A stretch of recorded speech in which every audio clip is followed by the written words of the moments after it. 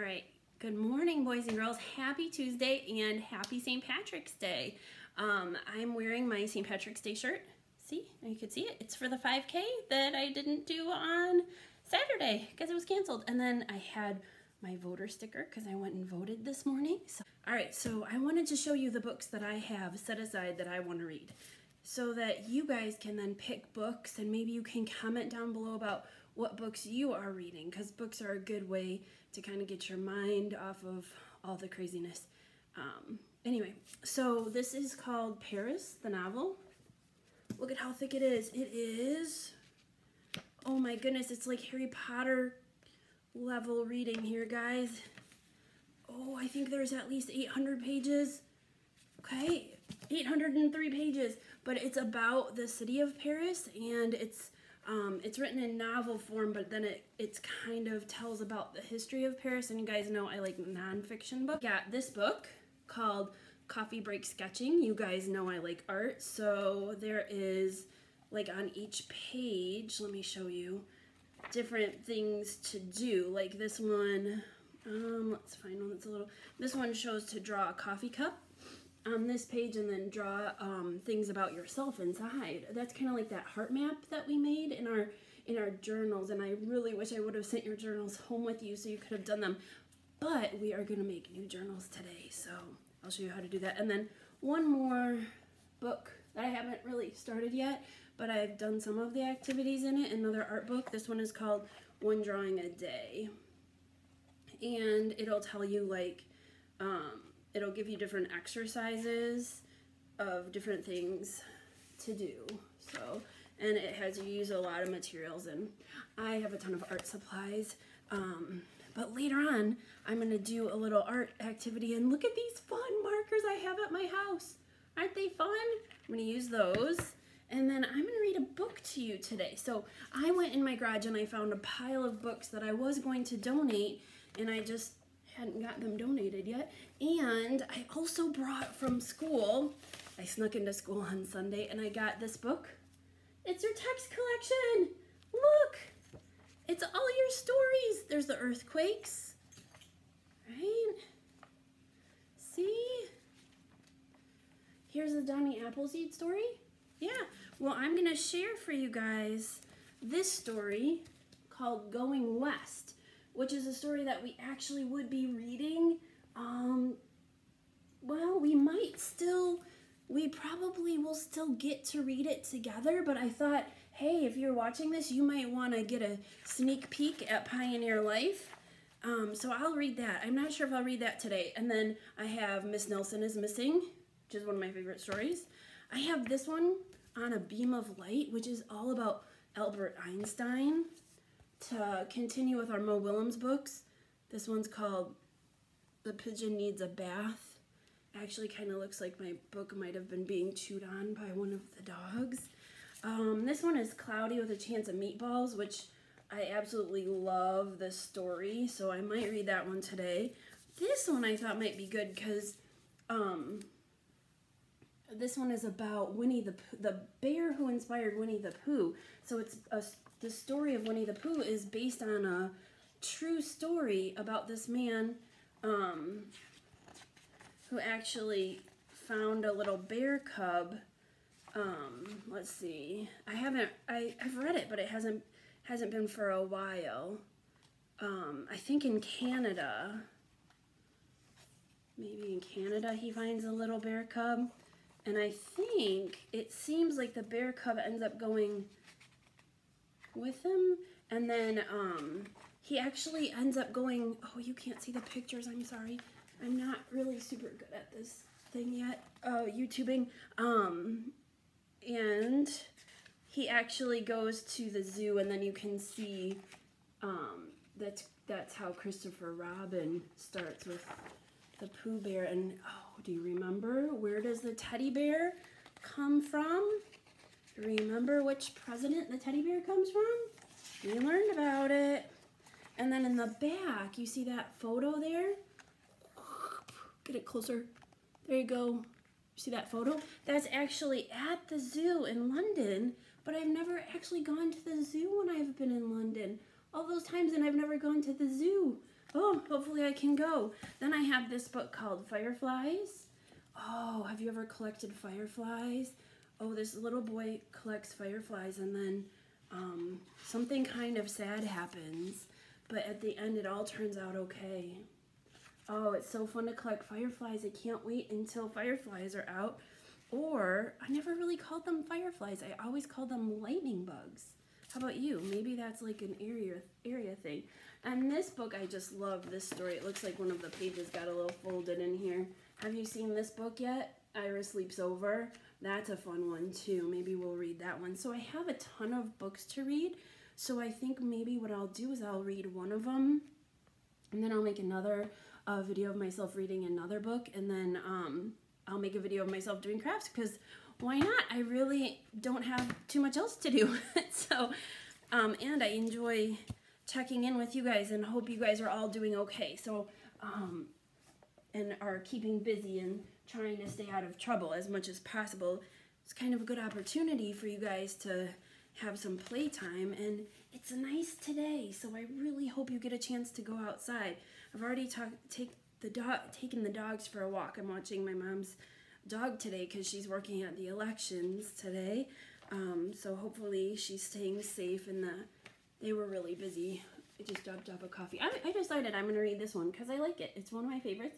It's Ira Sleeps Over by Bernard Waber, and I don't think we've read it yet this year. So let's take a look. It is, there's a dedication right there. So remember, a dedication is like they, the author can um, write the book for someone or decide to like dedicate or give the book to someone. That was Zuzu, you heard her in the background. I wonder if she's gonna wanna read with me. Zoo, Zuzu. That's my mom's dog, Zuzu. Maybe she comes over, I'll show her to you. All right, so it says, I was invited to sleep at Reggie's house. Was I happy? I had never slept at a friend's house before. Look at that. Have you had a sleepover? Yeah. It's exciting. A lot of you have sleepovers like, oh, don't touch your face, with like your cousins and that kind of thing when you're this age, right? Or neighbors. Yeah. All right, look at that picture. That's a kind of cool picture, right? So this is his sister. And his sister kind of gives him a hard time right away, right? Like his older sister. I think they're meant to give you a hard time. That's kind of why they're there. She says, Are you taking your teddy bear along? Taking my teddy bear along, I said, to my friend's house? Are you kidding? That's the silliest thing I ever heard. Of course I'm not taking my teddy bear. Don't you think he probably wants to take his teddy bear? And then she said, There's a picture. You see it? Yeah. Okay. But you never sleep without your teddy bear. How will you feel sleeping without your teddy bear for the very first time? Hmm? Is she being nice? Not really. She's kind of picking on him. Isn't she so cute?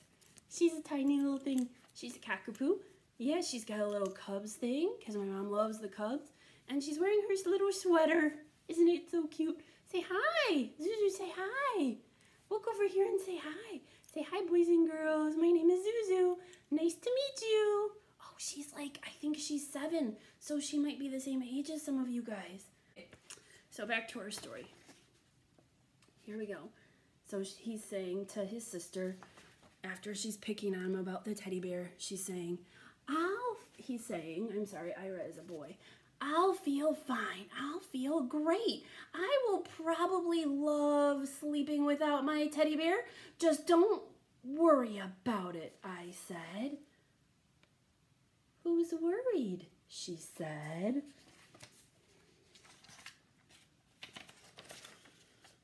But now, there you go.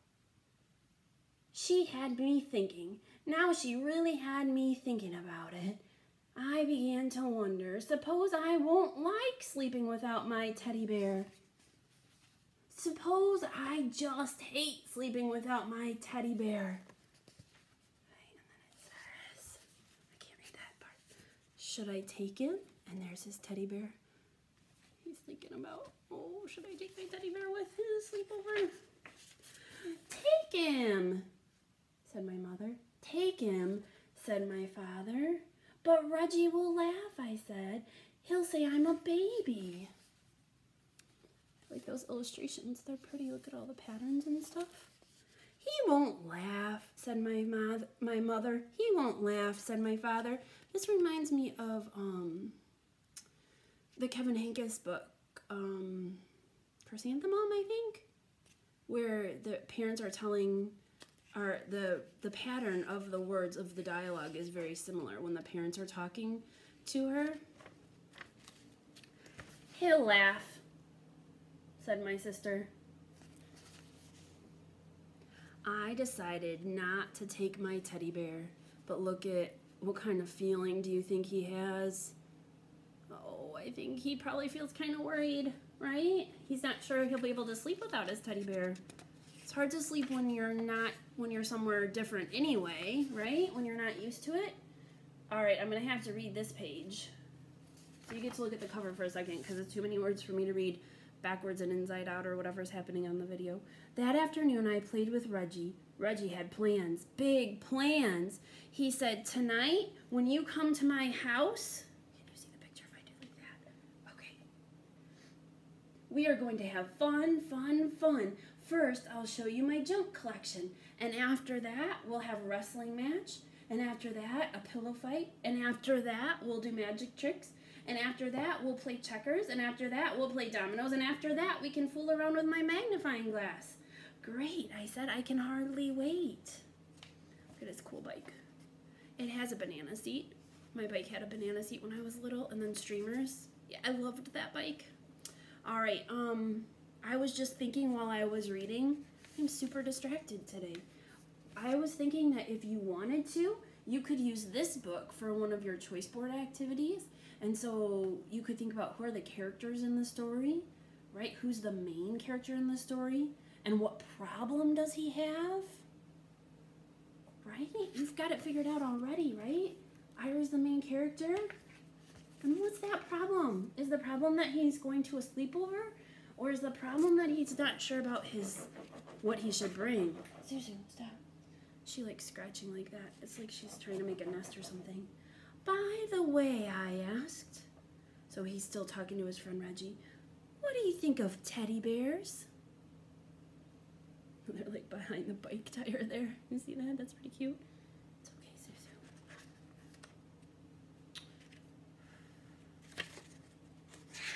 Blow on the page to get it to turn. But Reggie just went on talking. Sorry, that noise is the dog trying to lay down in a comfortable spot.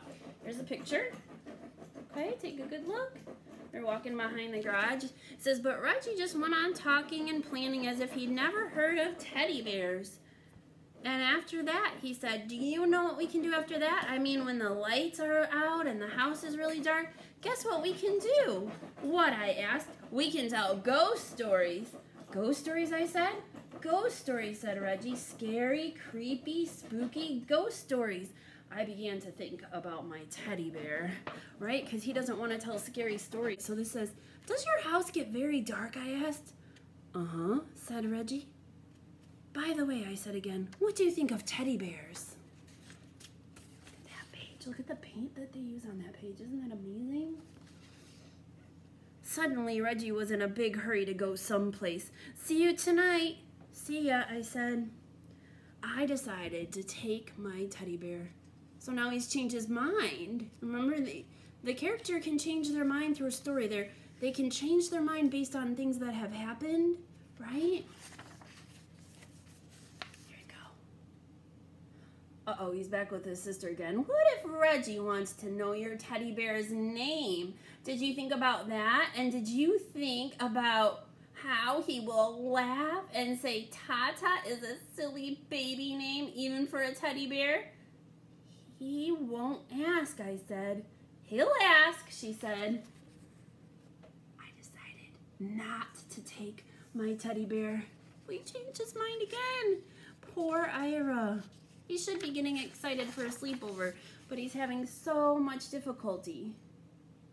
At last, it was time to go to Reggie's house. Good night, said my mother. Good night, said my father. Sleep tight, said my sister. There he is. Look, he can climb over the little railing to be in Reggie's, right by Reggie's house over the little fence there.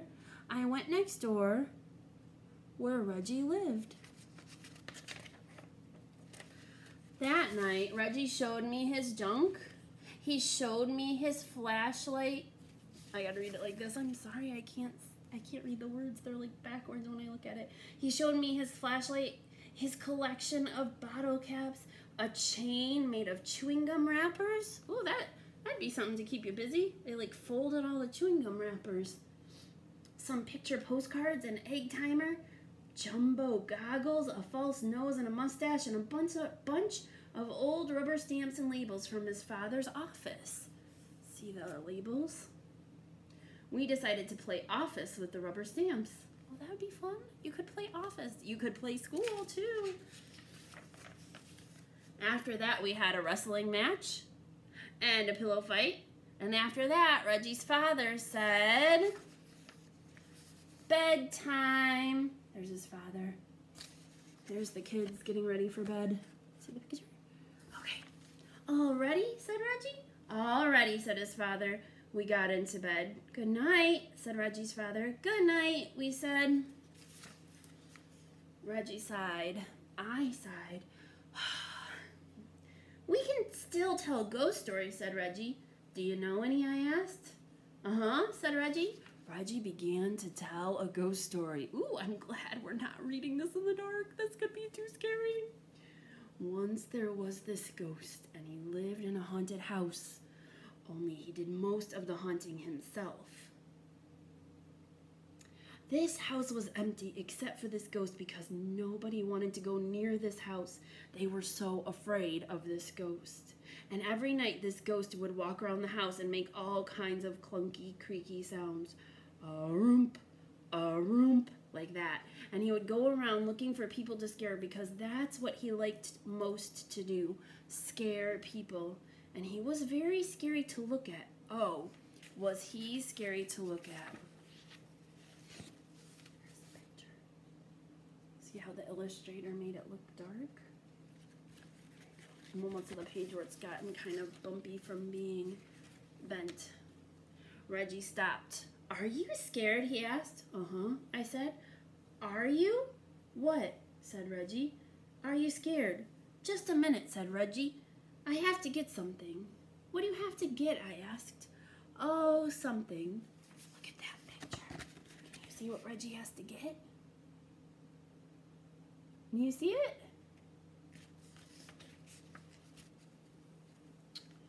Reggie pulled something out of a drawer. The room was dark, but it, I could see it had fuzzy arms and legs and was about the size of a teddy bear.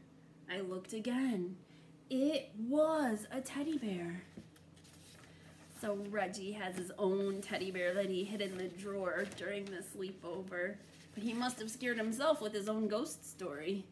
There's Reggie. Look at they did the writing here that's a good idea. You could do, if you're um, working in your journal, you could do like a picture at the top and then make like a shape. And then this is supposed to look like the blanket that he's pulling over. But then they put the text on there. That's pretty cool.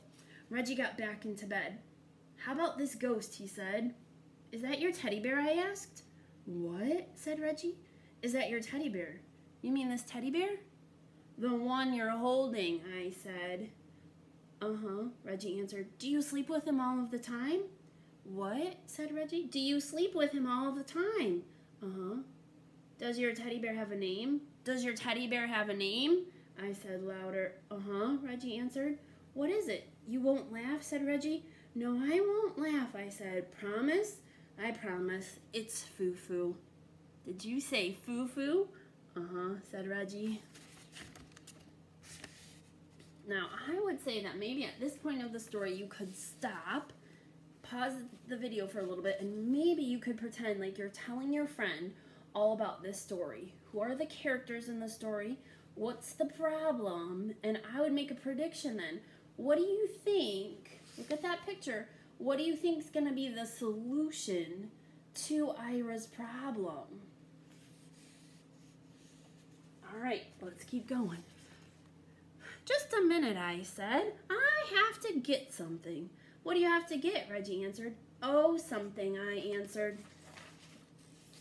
Look at the picture. There you go. The next minute, I was ringing my own doorbell. The door opened. Ira, everyone said. What are you doing here? I changed my mind, I answered. You what? said your mother. Said my mother. You what? said my father. You what? said my sister. She was still up. Like she probably got to stay up because he was over at a sleepover, right?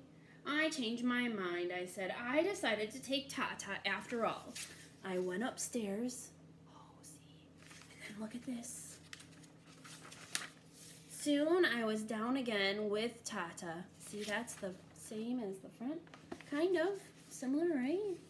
And my sister said, this is the page that got kind of bent up.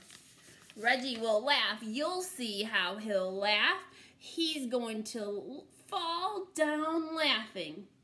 He won't laugh, said my mother. He won't laugh, said my father. He won't laugh, I said. See, remember, the sister doesn't know that Reggie has a teddy bear. I came back into Reggie's room. I have a teddy bear too, I said. Do you want to know his, his name? I waited for Reggie to say uh-huh, but Reggie didn't say uh-huh. Reggie didn't say anything. I looked at Reggie. He was fast asleep. See him sleeping right there with his cute little teddy bear? Just like that, he had fallen asleep. Reggie, wake up, I said. You have to finish telling the ghost story. But Reggie just went to sleep, holding his teddy bear closer. And after that, well, there wasn't anything to do after that. Good night, I whispered to Tata and I fell asleep too. All right, well that's kind of a fun story to read, right? Ira sleeps over. Um, probably not